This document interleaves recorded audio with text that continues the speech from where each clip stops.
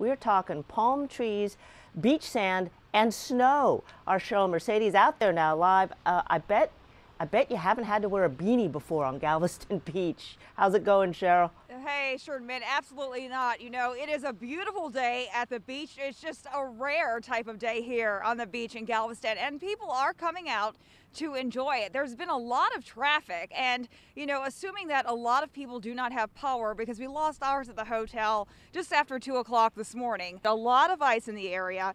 Uh, and more cold weather to come and refreeze what does turn to liquid. So that's why officials are encouraging a lot of people uh, to stay home uh, if they can, unless they can walk out here, which a lot of people, I will say, do have uh, that situation where they do live close by or have a condo and they can.